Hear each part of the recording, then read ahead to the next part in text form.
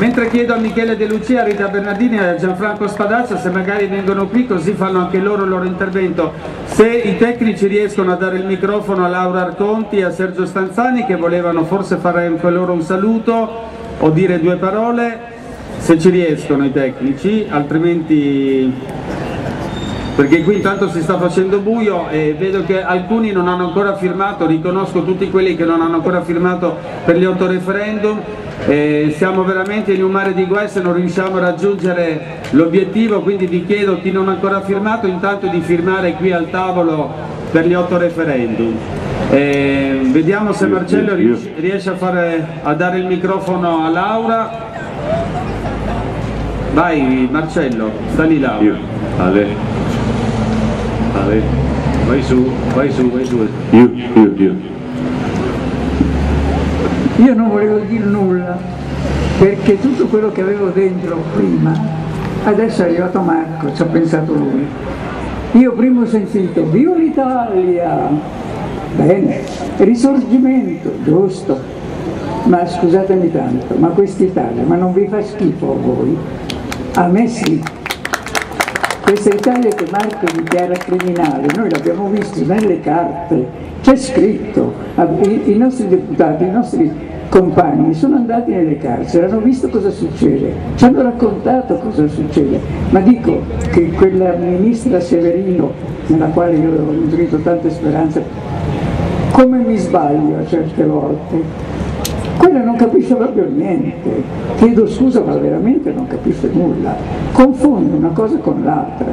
Vabbè, niente, adesso Marco l'ha detto, io mi sono levata veramente, non un sassolino dalla scarpa, ma una montagna di sassi dal cuore.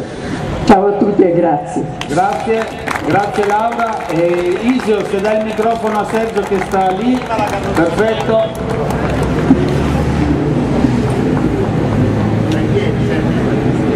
Dopo l'intervento di Marco non mi resta altro che dire democrazia, libertà e perché è con la democrazia che dobbiamo e possiamo assicurare quella libertà che sola può salvare la situazione italiana che a mio avviso non è mai stata così grave e pericolosa come quella che stiamo attraversando. E questo quel poco che vi posso dire in questo momento, dandovi tutta la mia partecipazione e la mia presenza, ebbene scusandomi della povertà con cui riesco solo, a, a, a, anche perché sono commosso dal fatto che qui, di fronte a questa bellezza di porteria, si sono iniziate, si sono iniziati i miei approcci per la mia vita, per la mia esistenza radicale. Sono stato radicale, sono radicale e il partito radicale, il traspartito internazionale e transnazionale è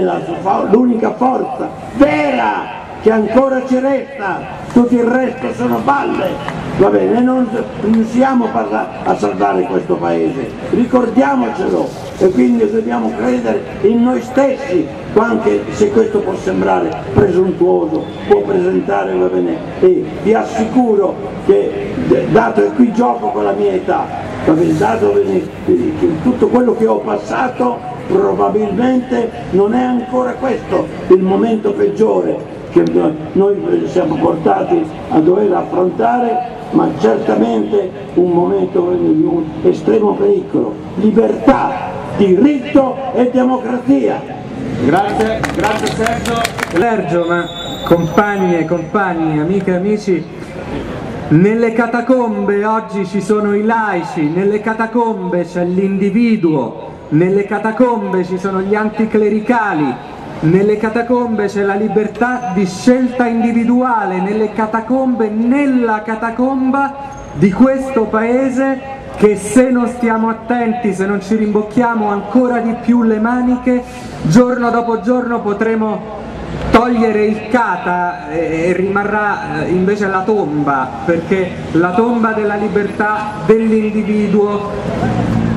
la tomba delle idee, la tomba della speranza, la tomba della libertà di scelta. C'è un numero di telefono che si può fare, è lo 066826, tra poco dirò per chi non lo sa che cos'è, ma lo 066826 è un numero che si può chiamare anche in questo momento e poi domani per, per tutto il giorno. Quando è stata aperta questa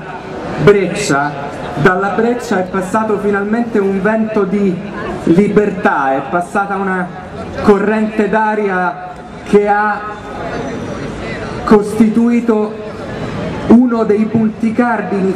fondanti del risorgimento e, della, e, di quella Italia che nasceva e nasceva sui valori e sulle battaglie del risorgimento, della laicità di questa breccia. Noi oggi dobbiamo lavorare per riaprire questa breccia e questa breccia si riapre soltanto se tante tante persone in più, se tutti siamo consapevoli che la prima breccia quella che fa passare il vento della libertà, della laicità, è aperta dentro di noi, senza nessun timore reverenziale, senza eh, nessun senso di malinteso imbarazzo rispetto alle guide morali, alle guide spirituali cosiddette autoproclamate, le stesse che andavano come Giovanni Paolo II in giro per l'America centrale, per l'America Latina a celebrare le sorti dei padri missionari che eh, portavano il verbo di Dio tra quei popoli, poi ti vai a vedere le pagine scritte da un contemporaneo di allora, padre Las Casas, che racconta come quegli stessi missionari facessero a gara per aprire le pance delle donne indigene incinte. Sono piccole contraddizioni che nei discorsi pastorali ufficiali oh mica del 1400, del 1979-80 per non parlare di quelli di Ratzinger, ancora, ancora ci sono, quindi aprire la breccia dipende, dipende da noi, dipende, guardate questo è un anno difficile, difficilissimo, io continuo a telefonare, continuo a sentire radicali iscritti da 30 anni, da 35, da 40, da quando io non ero nemmeno nato e ne faccio 40 a ottobre, che mi dicono con un imbarazzo che mi commuove, mi fa, veramente mi fa stare male, perché è vero,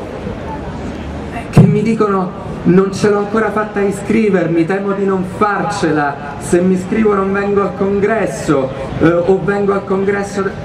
Allora, chi non lo ha mai fatto? O chi può farne due di iscrizioni o chi non l'ha mai fatto si può iscrivere per la prima volta lo, lo chiami quel numero 066826, può anche solo lasciare detto che vuole essere richiamato da me e io lo richiamo e ne parliamo e vediamo come ci possiamo organizzare, ma senza quelle iscrizioni pure a rate, senza quei 200 euro a Radicali Italiani, al Partito Radicale o i 590 del pacchetto, ripeto, anche a rate, quella breccia non si aprirà 066826 per vivere e non per sopravvivere, grazie. Segretario dell'associazione Luca Coscioni, eh, poi siccome stiamo andando verso la conclusione ma ancora abbiamo due o tre interventi, chiedo a Gianfranco Spadaccia anche di venire qui, grazie. Gli amici e i compagni che mi hanno preceduto hanno evidenziato l'emergenza in cui viviamo, emergenza di diritti sì, in un, paese, in un paese dove vediamo ogni giorno calpestati diritti acquisiti, leggi dello Stato, chi mi ha preceduto ha parlato di quanto l'obiezione di coscienza limita per le donne che hanno bisogno di ricorrere all'aborto l'accesso ad un trattamento che è stato stabilito per legge, con una legge a contenuto costituzionale vincolato. Il rimedio c'è, ma l'illegalità persiste. La settimana prossima ritornerà in aula probabilmente la legge sul testamento biologico quante cose, quanti, in quanti modi abbiamo evidenziato quanto quella legge non sia per il testamento biologico, ma è una legge che impedisce l'esercizio di un diritto. Allora, l'illegalità che persiste nel nostro Paese, la mancanza di coscienza anche nel riappropriarci dei nostri diritti e difenderli, ci porta in uno stato d'emergenza a cui noi dobbiamo reagire immediatamente. In un paese dove un ministro di questo governo dichiara che una sentenza della Corte europea dei diritti dell'uomo è una sentenza che ha un valore morale, quella sentenza è una sentenza che invece impone a uno Stato, lo Stato italiano, di rispettare la Carta fondamentale dei diritti dell'uomo, di rispettare il trattato. E allora è arrivato il momento